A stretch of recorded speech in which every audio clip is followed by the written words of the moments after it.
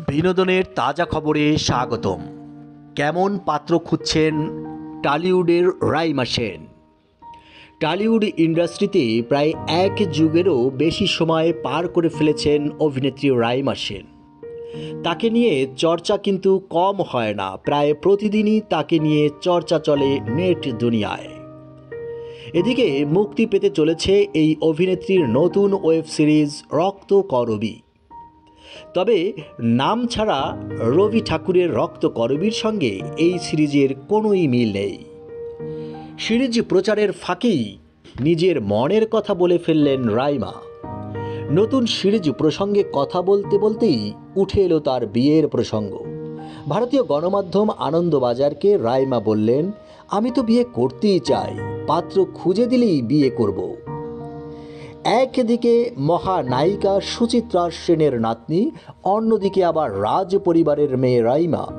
পাত্র খোঁজা কি এতই সহজ? কিন্তু কেমন পাত্র চাই তার? এমন প্রশ্নের উত্তরে তিনি বলেন, ভালো মানুষ চাই। আমার একজন এমন মানুষ চাই যে আমার জীবন ধারার সঙ্গে মিলে যেতে পারবে। সঙ্গে একটু রসবোধ থাকতে হবে তার।